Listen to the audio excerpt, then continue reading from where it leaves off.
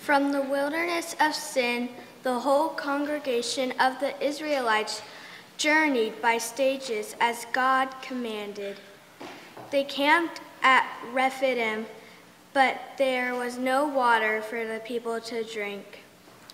The people quarreled with Moses and said, Give us water to drink. Moses said to them, Why do you quarrel me? Why do you quarrel with me? Why do you test God? But the people thirsted for, the, for water, and the people complained against Moses and said, Why did you bring us out of Egypt to kill us and our children and, li- and livestock with thirst? So Moses cried out to God, What shall I do with this people?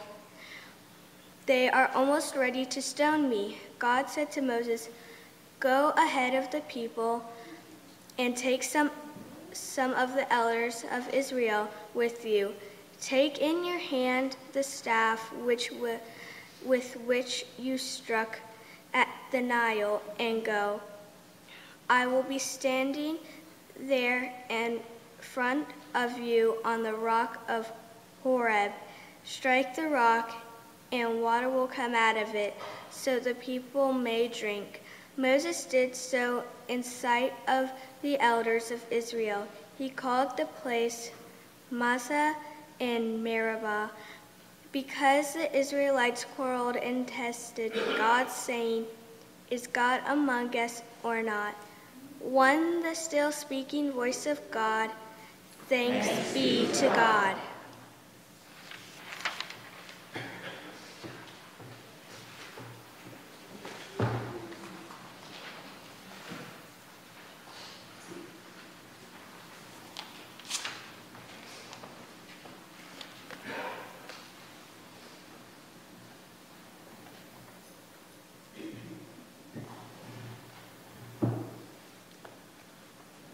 Didn't she read that well? Thanks to all of our children who are leading us in worship today. Would you pray with me? Holy God, we come to you with awe and wonder, aware of the mystery of life, reverent before your love and power. Sharpen our awareness of the sacred, startle us with the joy of discipleship and strengthen us to accept the cost of following Jesus. We pray in his name. Amen. The children of Israel lived with the myth that has always been part of human nature. They made it through a major crisis, and that would have been enslavement in Egypt. So they thought they would never face any big difficulties again. And after they left Egypt, they sang the doxology more enthusiastically than they ever had. Even those who had never cracked a hymnal joined in the refrain Thank you, God, the burden is lifted, and there has never been a leader as great as Moses. Let's honor him with a plaque to hang in his living room when he enters the promised land and builds a house, a dream house. Then, there's always a then in life. Then life happened again. They ran out of water. Give us back the plaque, Moses. If you think God called you to lead us, you are mistaking another voice for God's voice. We're going to convene a committee and impeach you. The people of Israel needed to learn once again the lesson that all need to be reminded of from time to time, and that is life is full of detours and exits. Sometimes we detour because the road we are on is closed. Sometimes we exit because it's time for a new stage in our lives. To state it a bit differently, sometimes we come to the end of a chapter in life and we have to determine if we're going to write a new chapter in the same book or whether the end of a chapter marks the end of the book and we need to start a new book.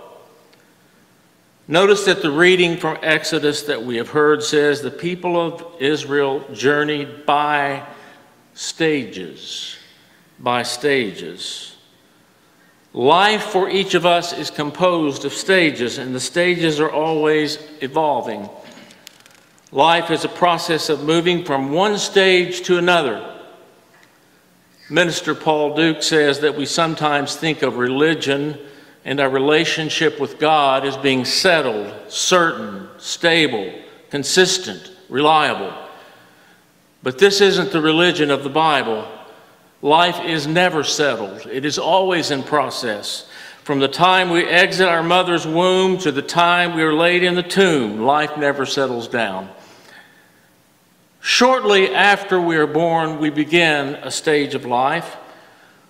We begin to discover that we are separate from those around us. The infant has no sense of being separate from their parents or the world. The toddler begins to risk, however, walking away from their parents, but they keep looking over their shoulder to make sure that the parent has not disappeared. They begin to have a sense of independence, yet it is a difficult transitional stage.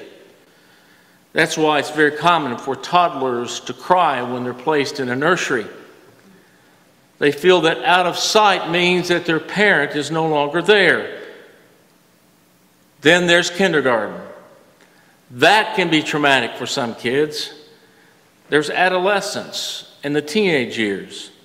These are times that the brain is still developing, so there can be some, shall I say, unusual behavior. then there's graduation and off to college, and the feeling that we are being thrown to the wolves. There's dealing with the personal budget eventually. There may be marriage and having children, or there may be adoption. The time when the kids move out of the house can be tough for parents, as our words for meditation and reflection revealed. And sometimes it's just as difficult for children. There may be a divorce. There's the time that has for years been called the midlife crisis. Maybe it could more accurately be called the midlife transition because every stage is a crisis of sorts. I suppose that midlife can be a time when we feel the transition more intensely than we do at other stages in our lives. It's the time when we realize the doors are shutting behind us and we can never open them again. It's the time when our options are becoming fewer and fewer. It's the time when we ask, is this all that there is? Or we might ask, is this as good as it gets? Some people do crazy things at this stage as a last ditch effort to give their lives more gusto. Then there may come a time when we have to be a parent to our parents. I entered that stage at one time.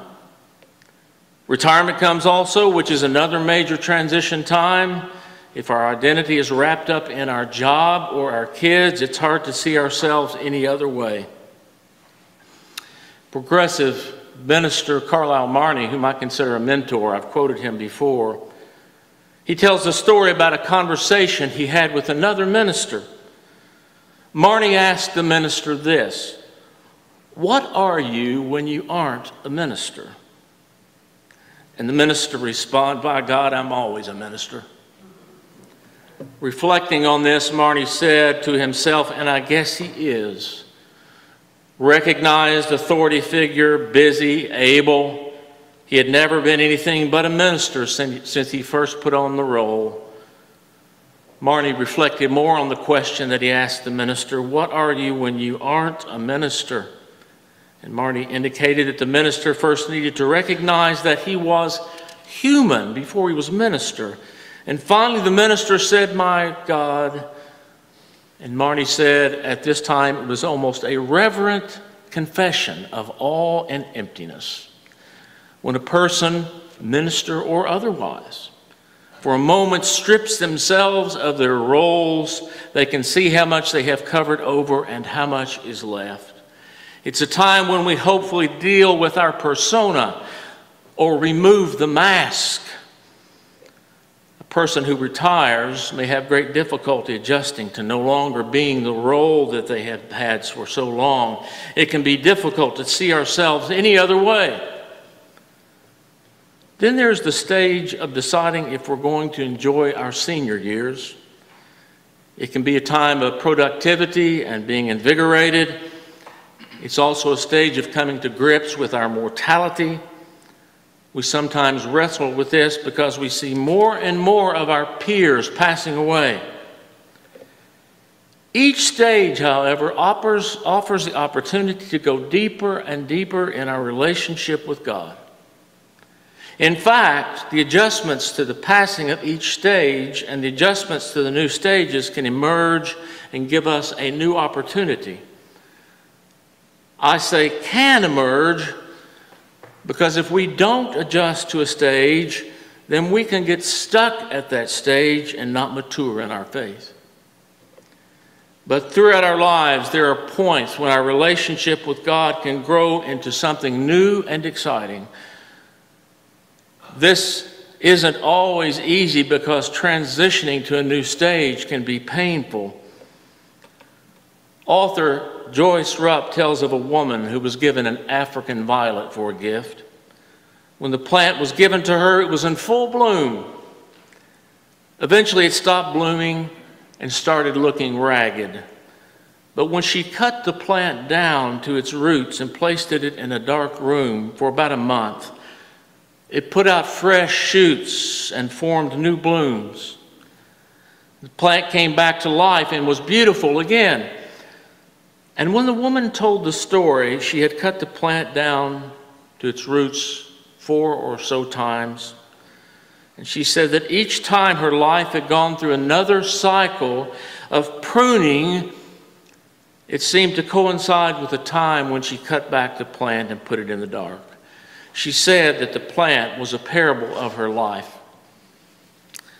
When we are going through a difficult time, it's like being pruned.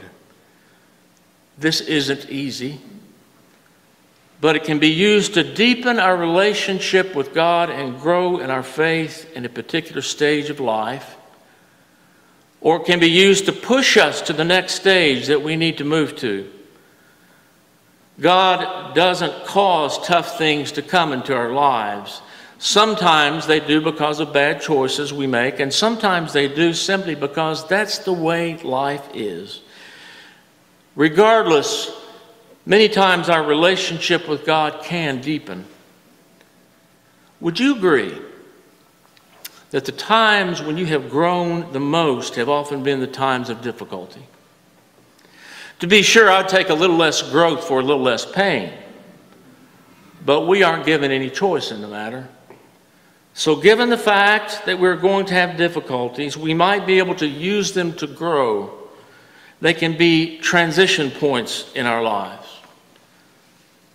Some of the things that can cause transition points are things that we might choose to do. Here are some of them leaving home for a job or for college, I've already mentioned that, graduating from college and looking for a job, perhaps marriage, having a baby or adopting, the decision for someone to come out of the closet, a divorce if we are the one who initiates it, moving to a new community, buying a new home, a vocational change, going back to college or entering college later in life.